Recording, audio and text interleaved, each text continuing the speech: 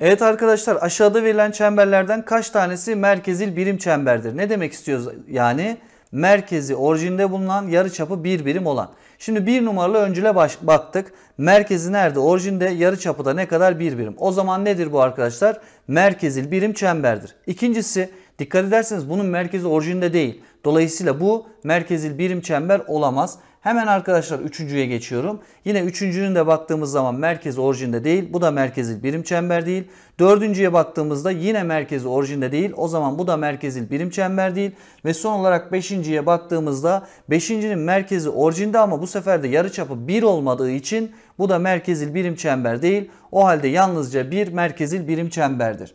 Geçiyorum hemen ikinci örneğe arkadaşlar. Merkezil birim çember üzerinde 3 pi bölü 2 radyanlık pozitif yönlü açının bitim noktasının koordinatı aşağıdakilerden hangisidir? Bakın bir analitik düzlem çizdim. Biliyorsunuz burası kosinüs eksenidir. Burası da sinüs eksenidir. 3 pi bölü 2. Şimdi burası pi kadar. Burası da pi bölü 2 kadar. Nereye geldim? Buraya. Sinüs ekseninde arkadaşlar burası 1 olduğuna göre burası ne olacak? Eksi 1 olacak. Kosinüs ekseninde de bu noktanın karşılığı ne olacak? 0 olacak.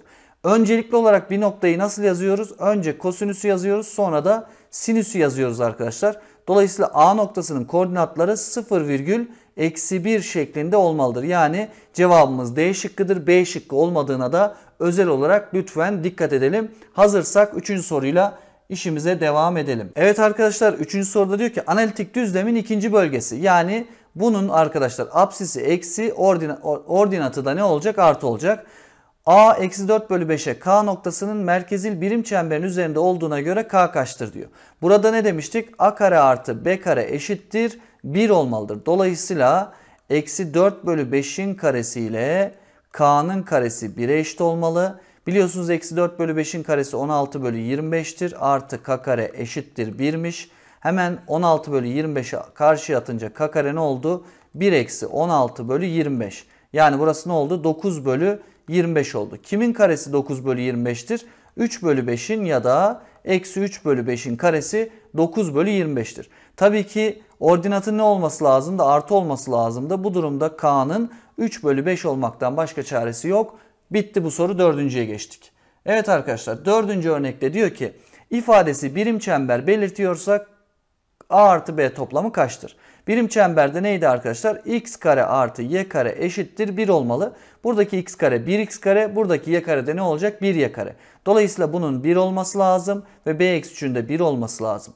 a eksi 1'imiz 1 ise bu durumda a ne olacak? 2 olacak ve b eksi 3'ümüz 1 ise bu durumda b ne olacak? 4 olacak. Bunlar neyini? Toplamını istiyor. Yani cevabımız B şıkkı 6 olarak bulunmuş oluyor. Geçiyoruz 5. soruya. Evet arkadaşlar. Şimdi 5. soru. Diyor ki MNK pozitif sayılar. Evet dikkat edelim MNK pozitif sayılar.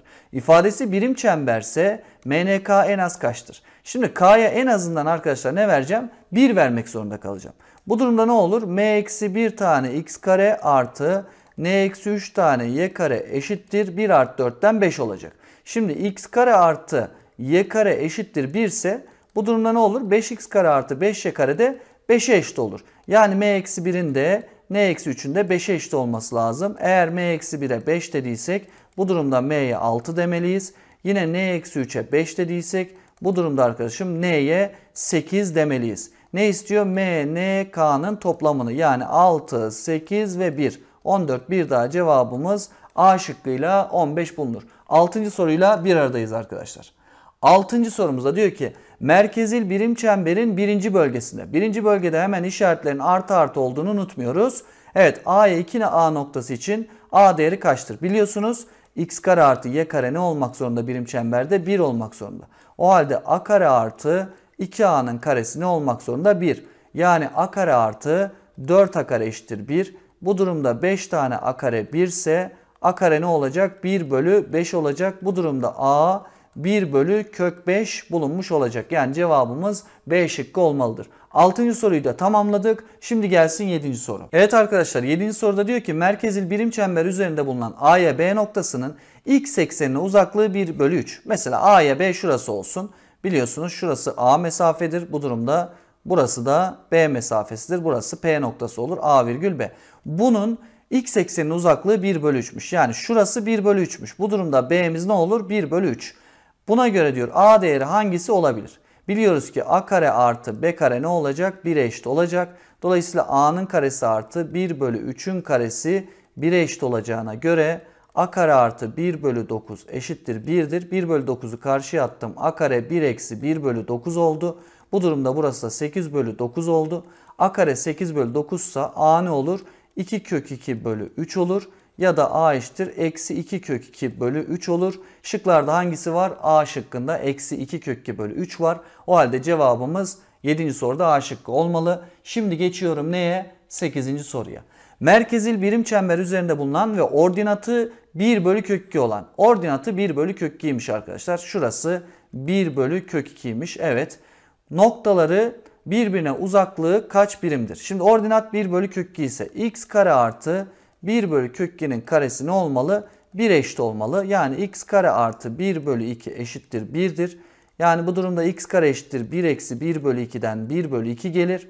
O halde x ya 1 bölü kök 2 olur ya da x ne olur? Eksi 1 bölü kök 2 olur. Bu iki noktanın birbirine uzaklığını soruyor. O halde ben 1 bölü kök 2'den eksi 1 bölü kök 2'yi çıkarayım. Bu durumda cevabım 2 bölü kök 2 olarak bulunur. Bunun da her iki tarafını kök 2 ile çarpıp bölersem 2 kök 2 bölü 2'den cevabım ne gelecektir? Kök 2 yani B şıkkı olacaktır. Geçtik 9. soruya arkadaşlar.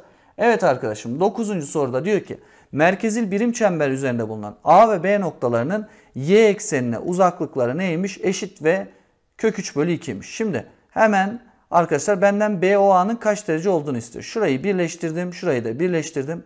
Bakın bunların her ikisinin ne uzaklığı? Her ikisinin y eksenine uzaklıkları eşit ve y ekseni şurası arkadaşlar kök 3 bölü 2'ymiş. Yani burası kök 3 bölü 2'ymiş. Burası da kök 3 bölü 2'ymiş. Şimdi biliyorsunuz x kare artı kök 3 bölü 2'nin daha doğrusu x kare demeyeceğim bunu sileyim. y kare artı kök 3 bölü 2'nin karesi ne olacak? 1'e eşit olacak. Buradan y 1 bölü 2 ya da y eksi 1 bölü 2 olarak bulunacak. Yani y eksenine uzaklıklar daha doğrusu x eksenine uzaklıklar neye eşit olacak arkadaşlar? 1 ee, bölü kök 2 ile eksi 1 bölü kök 2 olacak. Yani burası ne olacak? 1 bölü kök 2 olmuş olacak.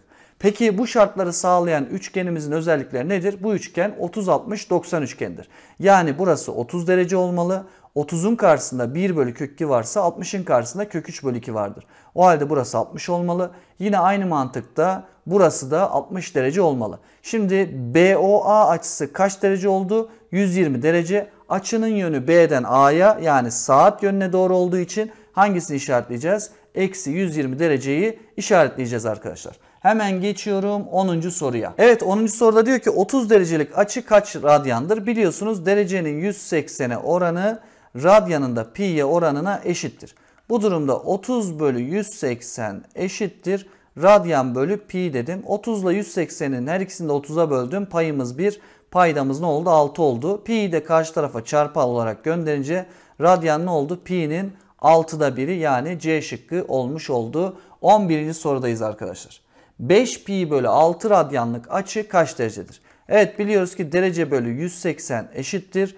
Radyan bölü pi yani 5 pi bölü 6'nın pi'ye oranı. Hemen şu pi'ler gitti. İçler dışlar çarpımı yaptık. 6 derece eşittir 180 çarpı 5 oldu. 6 ile 180'in her ikisini de 6'ya bölünce burası ne oldu? 30 oldu. Derece eşittir 30 çarpı 5'ten 150'ye karşılık geldi. Bunun kestirme yolu da arkadaşlar buradaki pi'nin yerine 180 yazarsınız. 6'ya bölersiniz. Buradan da cevabımız yine 150 derece olarak bulunur. 12'ye geldik arkadaşlar. 12. soruda diyor ki 400 derece kaç radyan? Hemen 400 bölü 180 eşittir radyan bölü pi dedim. Şöyle birer tane sıfırı sildim. Hatta her ikisini de neye böldüm arkadaşlar? 2'ye böldüm. Burası 20 oldu. Burası da 9 oldu. Pi'yi de karşıya attım. Ne oldu? 20 pi bölü 9 oldu. Kim bu? Radyan. Radyanımız 20 pi bölü 9'a eşit oluyormuş. Ve son sorumuz sevgili arkadaşlar 13. sorumuz. Diyor ki 12 pi bölü 5'in radyanlık açı kaç derecedir? Hemen arkadaşlar burada pi'nin yerine ne yazıyorum? 180 yazıyorum ve bunu 5'e bölüyorum. 180'i 5'e böldüğümde ne oldu arkadaşlar? 180'i 5'e böldüğümde 36 oldu. O halde cevabımız 36 çarpı 12'den 432 derece olmuş oldu. Dinlediğiniz için teşekkür ederim. Bir sonraki videoda görüşmek üzere. Şimdilik hoşçakalın.